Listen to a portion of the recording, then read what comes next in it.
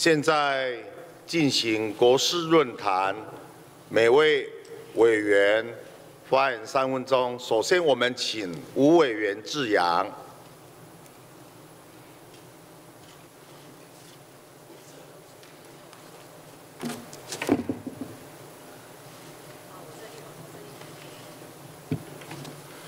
主席、各位同仁，大家早安。蔡政府预告，二零二五年电价将会大涨三成多。经济部打算以七百八十亿的电价平稳基金作为动涨的后盾，这样形同民进党政府错误的能源政策，却要全民来买单，这样怎么会合理呢？能源政策已经注定了失败。却还不设法减缓未来电价大涨的冲击，一切决策仍然只是以蔡英文自己的选情为考量，这种不负责任的做法令人心寒。去年底的公投结果，反空污公投、反深澳电厂公投以及以核养绿公投，分别以七百九十五万票、七百五十九万票以及五百八十九万票过关，实质上。就是对政府能源政策的不信任案，表示人民对政府以废核意识形态为基础所规划的二零二五年电力能源配比是没有信心的。经济部却视而不见，现在民间又发起了所谓的核能减煤的公投，其实这就是因为政府对以核养绿公投不作为，民间才会再推这样新的一个核能减碳的。核能减煤的一个公投，最近半年来，我们政府的能源政策更是到了荒腔走板的地步。海上的风电售价远超过国际的行情，又坚持新建深澳燃煤电厂，最后因为要救新北市长的选情，可以在一夕之间就宣布放弃。为了台中的选情。又可以宣布台中火力四部机组提前停止运转，那这些电力缺口呢，都要由燃气的发电来填补。公投的新民意非常清楚，就是希望我们的内阁能够重新提出新的能源政策，不是复制贴上而已。能源配比如果完全没有改变，那就是漠视。我们去年三项公投高达七百多万票人民的意志，志阳认为，行政院应该立刻召开全国能源会议，公开辩论能源政策，并依照公投结果进行调整，以回应民意，而不是把你现在碰到的困难告诉大家说没有办法照你们的民意啊，这个是不是民主国家？应该要负责任的这样子的一个政府，我们希望行政院能赶快进行这一项，呃，长远台湾发展重要的一个全国能源会议。谢谢吴委员，下一位我们请省委员智慧。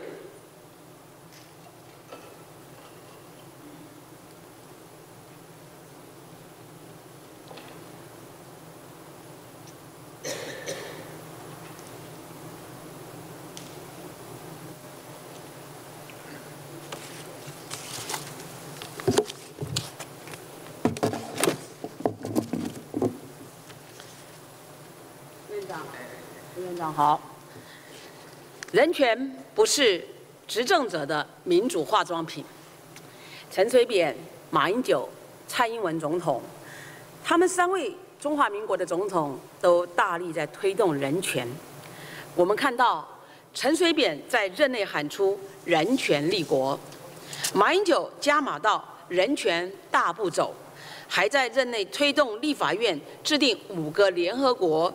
人权公约的施行法，蔡英文则想要推动全方位的人权政策，但是我们眼睁睁的看到，我们面对的人权是什么样子呢？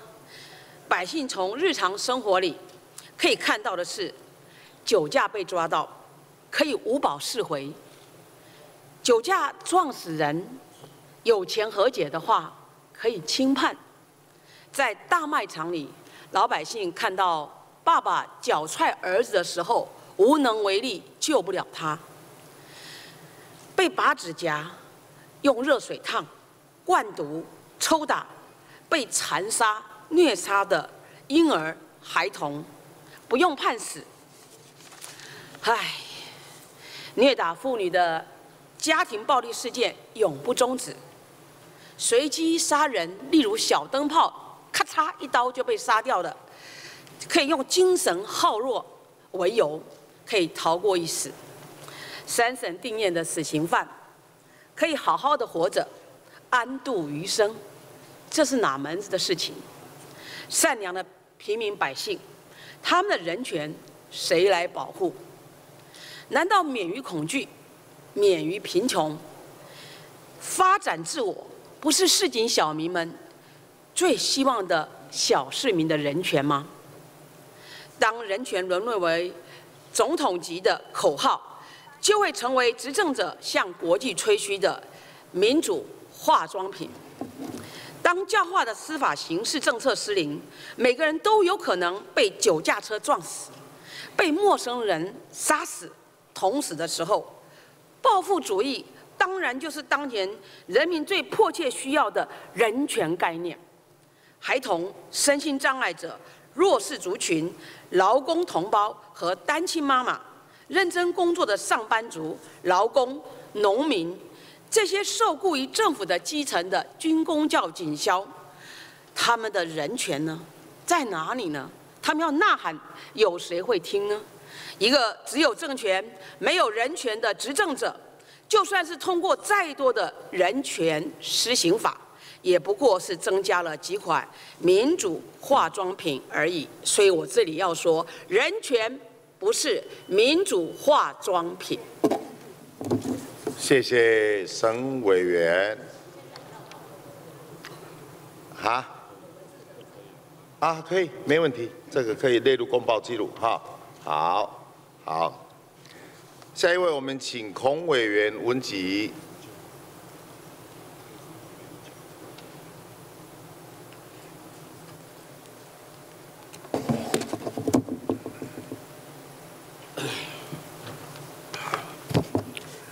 主席、行政院的苏院长，还有我们经济委员会的各部会首长，昨天本席非常的荣幸，能够带领我们经济委员会到我们原住民地区考察采矿的情形。啊，昨天我们去了宜兰县的南澳乡，还有花莲县的秀林乡。在我们南澳乡的行程，本来是要去个矿山的，后来原住民泰雅族的啊拦路陈情。说他们的饮用水受到了因为矿山开采的影响，受到了污染，那个饮用水没办法喝，所以当场啊，我就特别啊，才是由我们矿务局必须要两个月之内，针对我们南澳乡的二十九个矿场，跟花莲秀林乡的三十一个矿场，共六十矿矿场，做环境有没有破坏水质的一个检验报告，希望能够在两个月之内。把这个报告提出来，如果发现这个水质有受到影响，我们村民他没有简易自来水，他只能取用山泉水来来喝，那这样会影响到他的一个生命呃健康的一个安全，啊，如果发现有这种情形的话，应该要立即停工。所以本席在过去审查矿业法的时候，第一个就是要配合我们的能源政策，啊，第二个我坚持原住民工作权的权益应该要保障。还有他的福利、劳工的权益都应该要保障。第三个是环境保护和生态永续的发展。第四个是要建立一个公开透明的啊一个回馈机制。显然，在我们原住民地区这么六十多个矿场，在花莲县跟宜兰县啊没有做到这样的一个程度。接下来就是我们经济部长沈荣金在立法院经济委员会。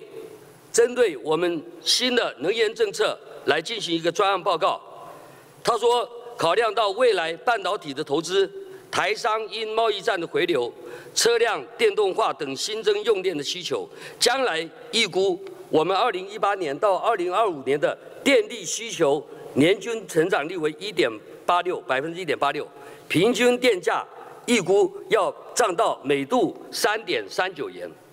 较二零一七年每度增加零点八四元，涨幅高达百分之三十三。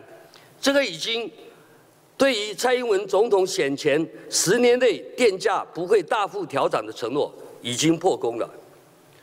此外，这个在全国供电的问题有没有问题？